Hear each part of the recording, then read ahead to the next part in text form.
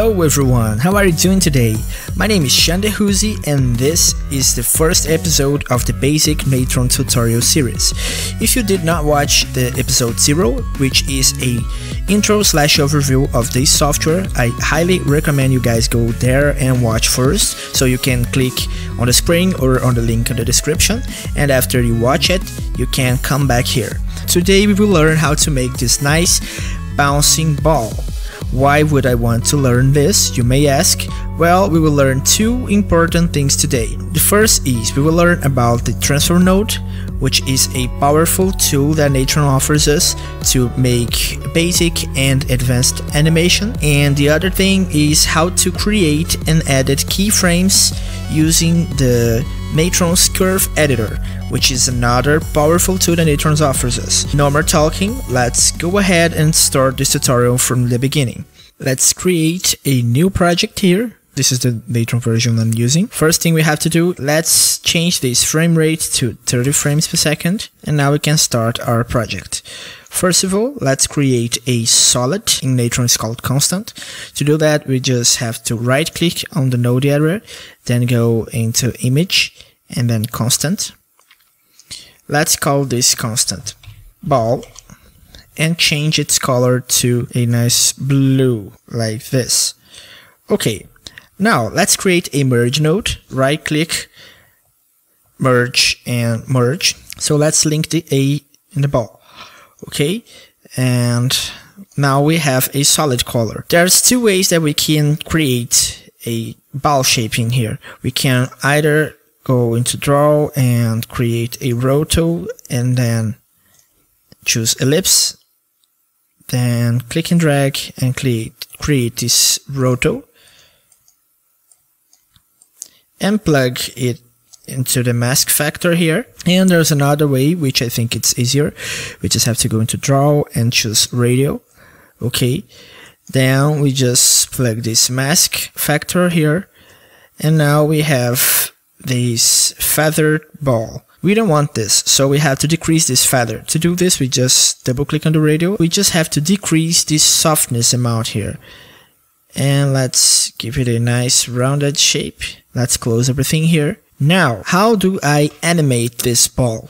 We will animate this, as I said before, using the transform node. To create a transform node, you can select the last node on your nodes tree and then hit T on your keyboard or you can just select the merge node and go into transform and transform. Now we have these handles here. These handles have pretty much everything we need to manipulate stuff. So we can scale this, we can rotate this, and we can move. These are the basic things we need to animate.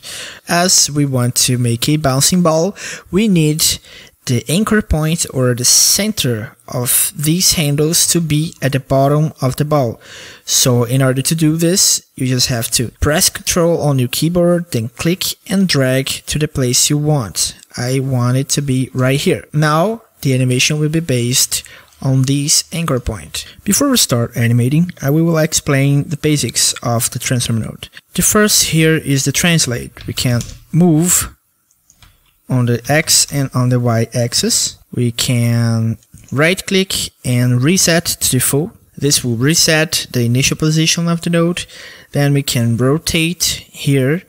These are pretty much the stuff that, that handle this, but located at the properties window, we can scale. Okay. We can lock the scale. So if we change this value here, it will increase and decrease uh, one related to each other. We can skew this. We can change the center point, which we already changed that time by holding control and dragging the handle. And here at the bottom, we have the motion blur settings. I will show you guys at the end of this tutorial. So let's go ahead and start animating. First of all, let's change the frame range. I want an animation from the frame 1 to the frame 50. You can see that if I change to 100 and click with the middle mouse button on this black timeline area, it will zoom on our frame range. So let's get back to 50. click with the middle mouse button and you can see that each of these parameters has this animation menu.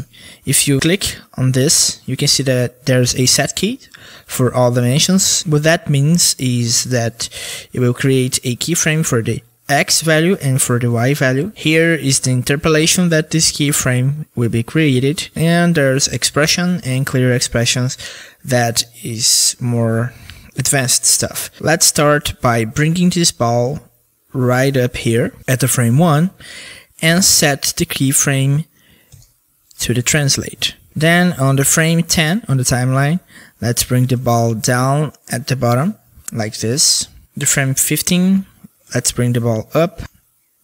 The frame 20, let's bring it down again. 25, bring it up a little bit less than the last time. Then at the frame 30, let's bring it down again. And 35, bring it up a little less than the last time. Bring it down again. 45, bring it up. And frame 50, let's bring it to the ground again. We can see that this is kind of a crap animation. It's not good. So now it's time for us to edit this using the curve editor. Here, if you control alt and click with a middle mouse button, you can bring it down and bring it to the right or to the left to shrink or to make this graph a little bit bigger. Now we can see all the keyframes that we have in here. These dots are the keyframes okay so every dot that we see here is a keyframe. We can see that if we drag this here when the ball hits the ground there's keyframes. When it goes up there's other keyframes. What are these keyframes? This pink line here represents the translate x is this x movement. And there's not much movement on that so I think we can delete everything here on this pink line. This way our ball will only give it a straight bounce, okay? So let's play to see how it is. Now, there's one thing we need to fix in here. When the ball hits the ground, you can see that this is represented by a smooth movement. How do I know this? Because the graph of this keyframe is showing me that the ball comes and smoothly hits the ground and smoothly goes to its top position here. When a ball hits the ground, this is not a smooth movement, it's a harsh movement. So we have to change this smooth graph to a linear graph. How do we do this? We select this keyframe, we can either click and drag, we call box select, or we can just click on the keyframe and right click interpolation and choose linear. Now let's add some squash and stretch to give it a cartoonish style to this movement. To do this, we just have to animate the scale. I'll just make it my way. If you know a better way to do this, I recommend you do it your way. In the frame before the ball hits the ground, I want it to have this same size. So I will create a keyframe for the scale. But before I do this, I don't want this to be uniform because I want the ball to squash and stretch. So I will uncheck uniform and click on these two. Now we have these separate values for the X scale and for the Y scale. Now I can click on set key. I just click on this icon here and then set key. And now we can see that nothing happens on our graph. That is because we have to select scaling here and now we have our keyframe. But we just lost the other keyframes that we are using as reference. So to select all of them, you just have to select the translate, then shift select scale. Now we see everything. Okay. So now on the frame that the ball hits the ground at the first time, I want it to squash a little bit. So I'll do it with the handle. Make it squash. Then in the frame that it gets on its top position, I want it to get back and have it's one value. Then I'll repeat the process. And the frame before it hits the ground, I want it to have one. If we want to repeat a value, we just have to put it again and click enter and it will create a keyframe we can see here. Then on the frame that it hits the ground, I will scratch a little bit. Then when it comes right up, I will make it get back to one. Then on the keyframe before it hits the ground, I want one again. And when it hits the ground, I will scratch a little bit. Then when it comes up, one, one frame before it hits the ground, one again. When it gets to the ground, scratch a little bit, just a bit this time.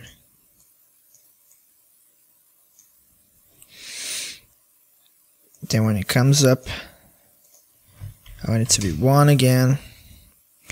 And the last time I want scratch. For some reason, Natron just changed these bottom keyframes to smooth to the smooth graph again.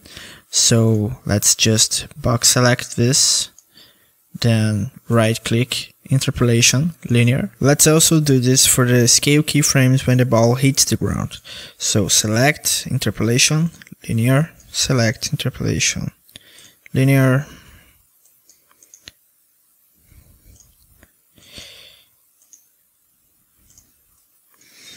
Okay, let's play this.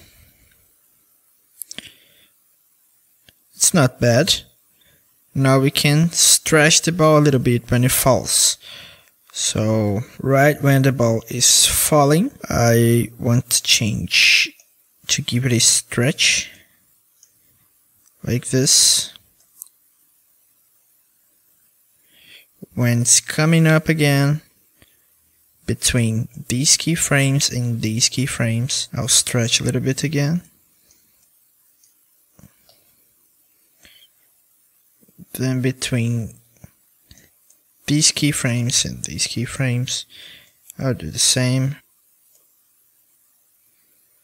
And repeat the process.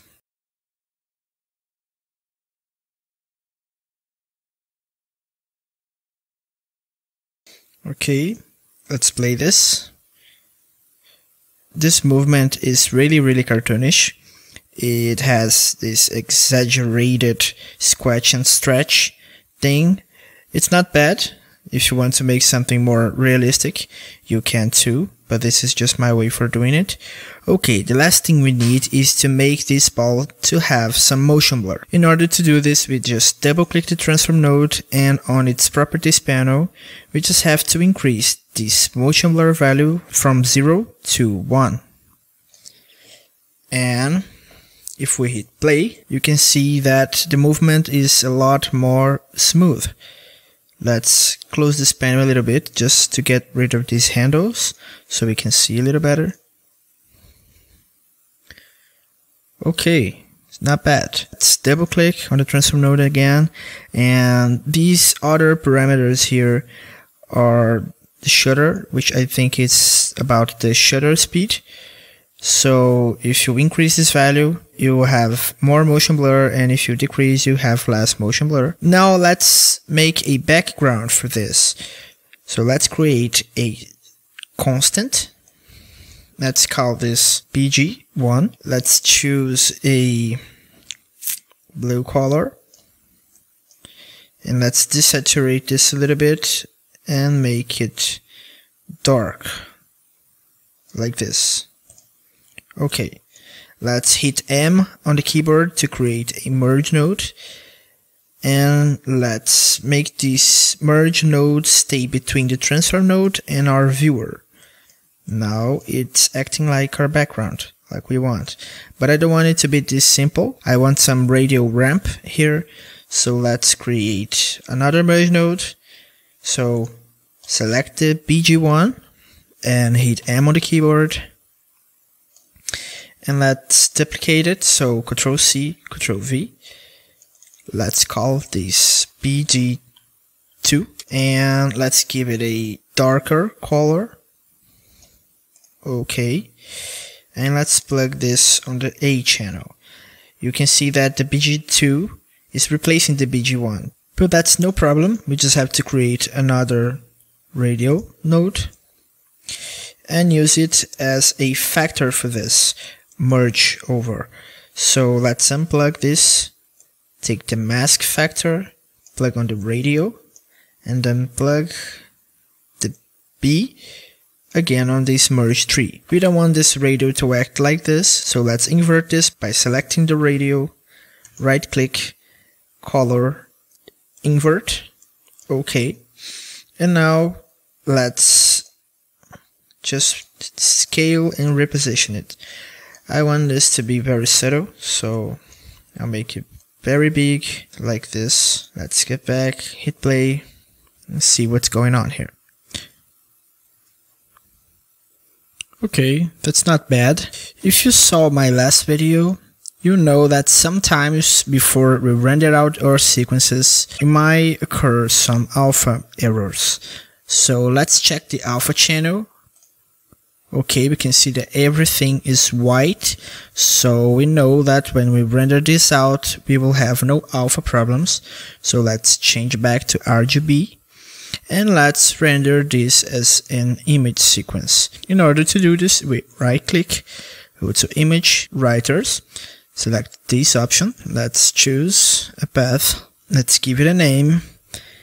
Let's put this hashtag symbol so Natron knows that it must save as a sequence.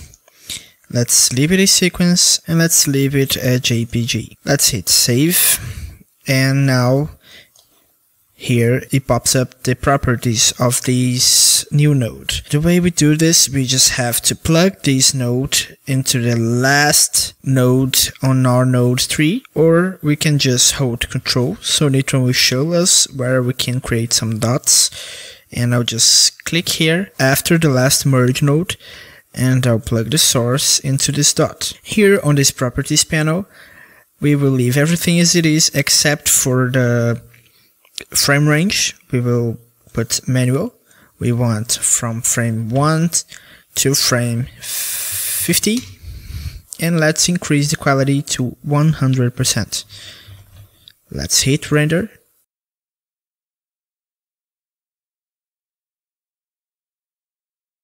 And now let's load what we rendered out back to Natron to see if it rendered okay. So right click on the node error image, read, select our sequence. Let's unplug everything here. Delete. Let's unplug the viewer one. And before we plug in our sequence, let's double click the sequence and check this custom FPS and put 30. Now let's link this one from the viewer one and release it in the top of this read node and hit play. Okay, we can see that our animation plays okay. So guys, this is the result of this tutorial. I hope you learned something from this, I hope it was useful and I also hope you liked it.